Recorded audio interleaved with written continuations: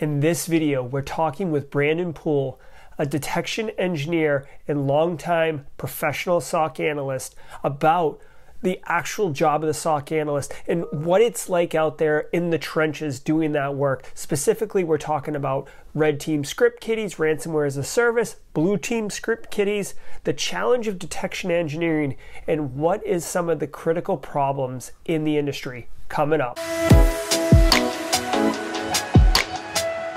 Hey, everybody, welcome to Simply Cyber. So, some of you may remember a couple months ago I did a video with Brandon Poole called SOC Life. It's it's right here. You can or right there. You can check it out. It was awesome, and we talked with Brandon about what is the real deal of the SOC analyst day-to-day life in you know, the modern SOC, today's world. I was going back through the content and I realized there's another awesome segment of content and I carved it out and I've put it here as basically SOC Life 2. Brandon tells us about how threat actors can be script kiddies and complete and like what their operations actually look like. So as a SOC analyst, when you find certain artifacts on an endpoint that's compromised, you know that this is a script kiddie.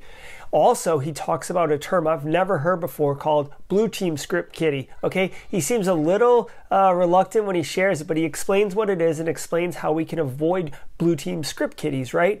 He also goes in and does a fantastic job of explaining why machine learning you know, modern next gen EDR, AV uh, kind of solutions that use machine learning can actually be poisoned, and how threat actors are doing that poisoning to destroy those models. It's brilliant. For those of you who are new here, this is Simply Cyber, the YouTube channel designed to help you make and take a cybersecurity career further, faster. And on this channel, we talk about offensive and defensive things, and we interview experts just like Brandon. So if that's something that's interesting to you, I suggest you check out the other videos on the channel and definitely hit subscribe and the bell for notifications because I push a new video out every Monday at noon, and I want you to be made aware as soon as it comes out. If you want, you can use the minute markers below to jump to different parts of Brandon's talk but I really, really uh, think you're going to enjoy listening to it throughout. He has such insight and he is such a just next level SOC engineer. In fact, he's moved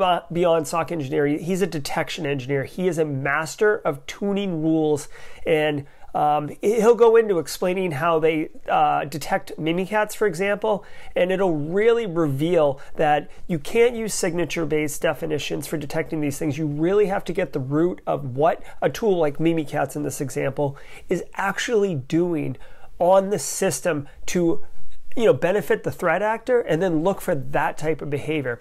Okay, so let's get into the interview. I hope you enjoy it one case, like the threat actor pretty much like nuked all of Active Directory. So like they didn't have any tools, and I was like, well, let's push it with group policy. And they were like, well, we can't do anything with DC because everything's corrupt.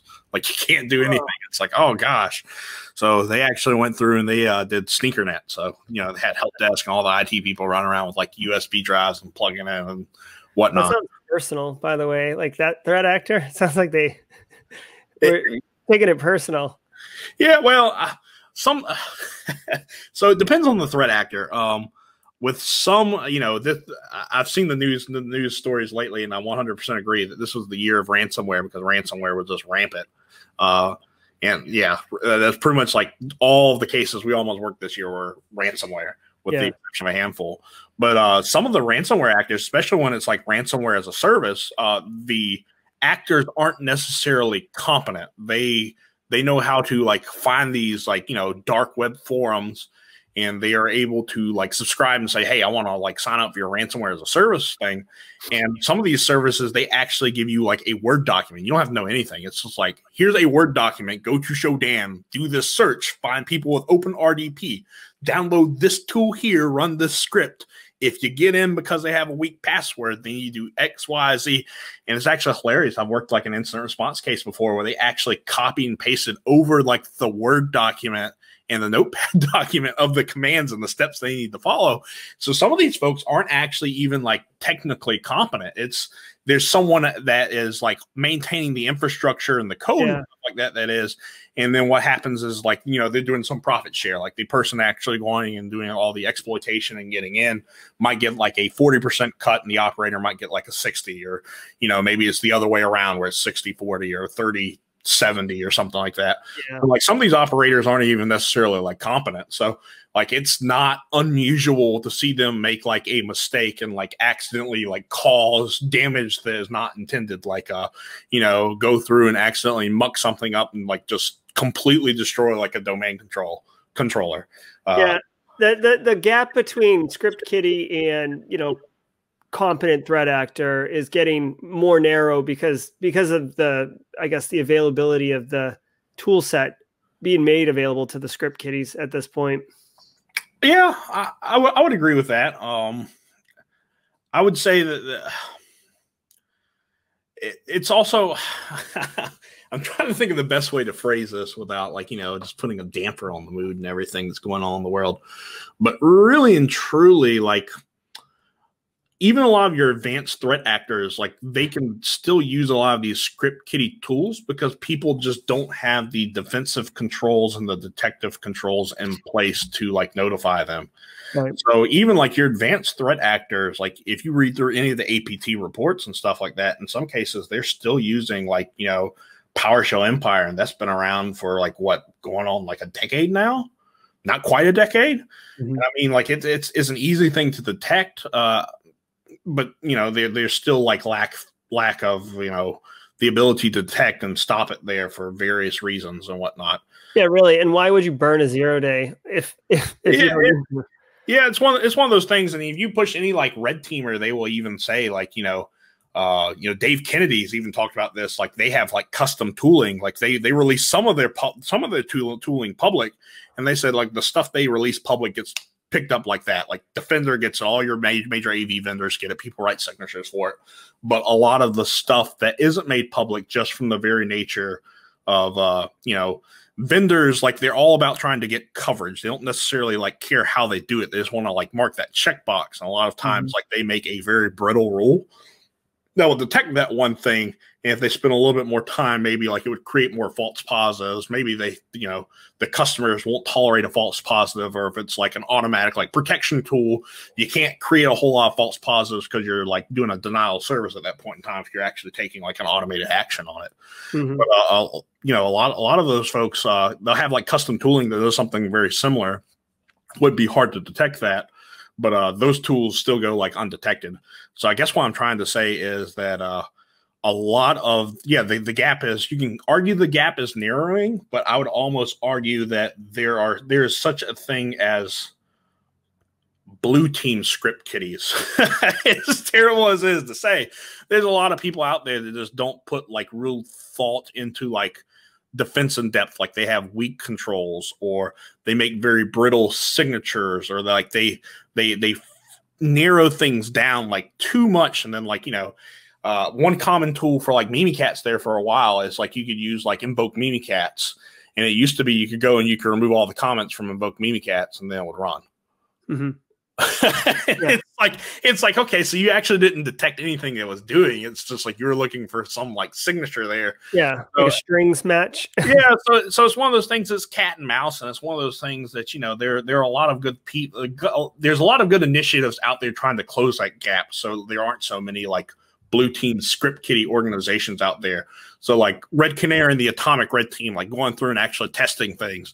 It uh, it was amazing there for like the longest time because like you would run some of these Atomic Red Team tests and they were actually pretty good and like solutions would just completely and totally whiff on them, like just mm-hmm. not even detect them. And then uh, you know some of these some of these folks would go and talk to like what these these uh, vendors and these vent they'd be like, well, you didn't detect you know this this test I ran, and uh, some of the vendors actually went and they were just looking for uh, literally like keywords or certain things within like the Red Canary, like Atomic Red Team framework. So you'd go in and just make like a slight modification on the file and they wouldn't be able to detect it anymore. So I don't yeah, know. That, that's, um, I mean, that's gross. Like eh, you like look under the, under the hood and it, you know, it's, uh, there's not, there's like nothing there. It's just like a mouse on a wheel. You're like, oh, okay. Yeah, and, and, you know, I feel I you know as a vendor, I guess I do I do feel for these guys. I'm you know that's kind of like why our approach at Soteria with our rule writing is a little different. Like we're not necessarily writing signatures. We're not feeding into like next gen machine learning models because like all that stuff is very brittle. Mm-hmm. Um, we write behavior based, like rules based off like behavior based heuristics. So we look at like parent child uh, relations or like, you know, popular one I want is like, how do you detect Mimikatz? So, you know, your AV vendors, they look for like certain hex strings and Mimikatz or, you know, whatnot.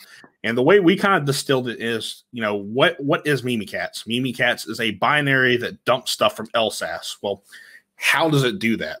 Well, it makes certain Windows API calls in order to, with a certain access mask, in order to access that stuff from Mimikatz. So, you know, if you were to run Mimikatz on a Windows box, uh, the alert that would fire would be unsigned process. Uh, trying to remember the name of the rule. Unsigned process accessing LSASS. But the way that we actually look at it is the API calls you need to access that data in LSASS. You have to pretty much load certain DLLs up into like the uh, binary running in memory. So, mm-hmm. like the process running in memory needs to access uh, vaultcli uh, is one of them, and then the other one is samlib.dll. So those two DLLs there actually give you access to the underlying Windows API calls that you need in order to access the part in memory where the passwords and password hashes are stored. So the way that we design the rule is we look for something that is unsigned, loading vaultcli and samlib DLL, but then is also went opening a thread into LSASS, so it's talking to LSASS, and boom, that catches Mimikatz all day. You can rewrite it doesn't really matter because you, in order to access LSASS, you have to have like these very specific Windows API calls that require these very specific DLLs. Now, are there bypasses for that? Yeah, sure. Like one of them is just going through and just like signing, you know, Mimikatz because I just told you it was unsigned. Uh, yeah, sure, you can get around it that way, but we build our detection model where all of our detections overlap very narrowly and they're mm-hmm. kind of narrow focused. So even if you sign like Mimi Mimikatz there, we have other things in place to look for that type of behavior to catch uh, Mimikatz in other ways. Uh, you know, because you can use PowerShell, but guess what? PowerShell, you can do kind of the same thing. PowerShell normally doesn't talk to LSASS, so I can trigger off that. So if you're using Invoke uh, PowerShell or Invoke Mimikatz in PowerShell, it's still grabbing these DLLs. There's multiple ways to like skin a cat, and that's kind of like the, yeah. the the way that we've kind of focused our detection on there. But you know, no, I love it. I mean, this this conversation is, uh, I mean, started with LimaCharlie, and we will we'll circle back to it. But I mean, there's just so much great information about, you know, really what you just argued was um, why behavior based um, heuristics is way better than, you know, basically hash signatures or or strings matches and stuff like that. Yeah, and uh, that's uh, in a good, you know, uh, as a security practitioner, what we always preach is like defense in depth, right? Mm-hmm. No one ever really has, or not very many people seem to take that same concept and like you also have to have like detection in depth. Like it's fine to have like a bunch of signatures. I mean, I'm not I'm not arguing for people to uninstall your AV. Like that would just be completely that'd be completely and totally ridiculous. I mean, could you imagine like someone uninstalling AV, getting breached, and then they get sued and you've got some lawyer up there and it's like well did you have av installed you didn't have av installed my grandmother has av installed on yeah. her machine that's just negligence so i'm not like saying that you shouldn't use av or you shouldn't use these tools for like you know signature based stuff you shouldn't use like your your snort and your Suricata and your like network ids devices that operate in the same way uh, you have to have like a good mixture of the signature based stuff your behavior based analytics and your heuristic stuff. And there's even a place for that machine learning stuff.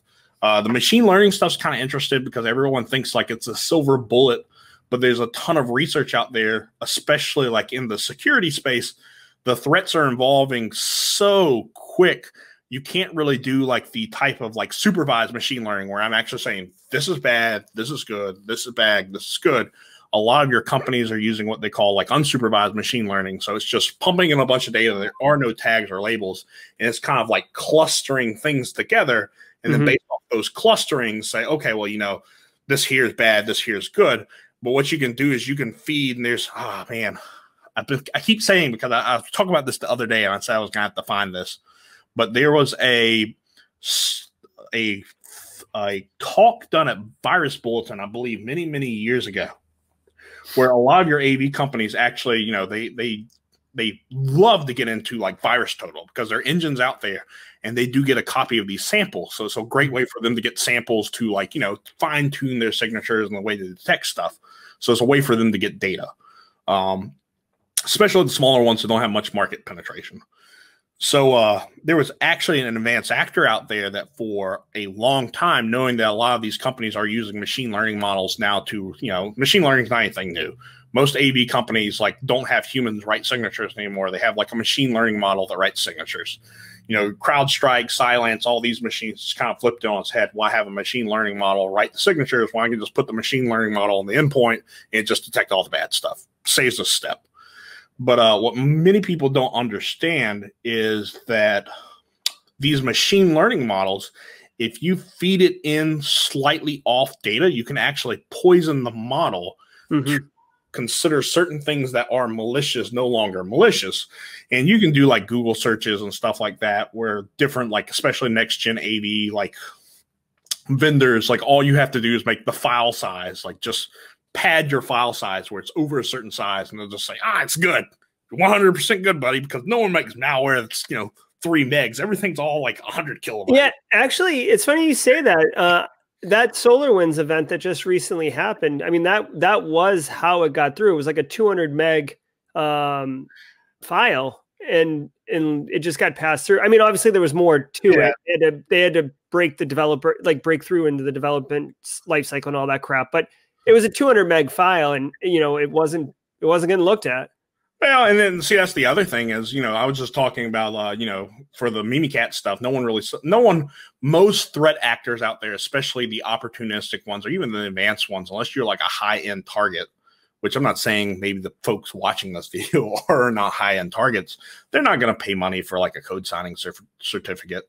They might try to steal one or something like that, but most of the time they don't respect you enough to do that. They're just going to go and compile Mimikatz. It's going to be unsigned. They're going to run it you're not going to detect it because like they'll get on the box, they'll do some recon before they ever run it, figure out that you've got like these security products and they disable those security products. Uh, yeah. That's actually really common even in ransomware situations. They get on the box and they say, oh, they got Windows Defender, and I know Windows Defender is going to pick up my malware, so I'm just going to go and disable Windows Defender, and it's like, all right, problem fixed. Yeah, yeah. So.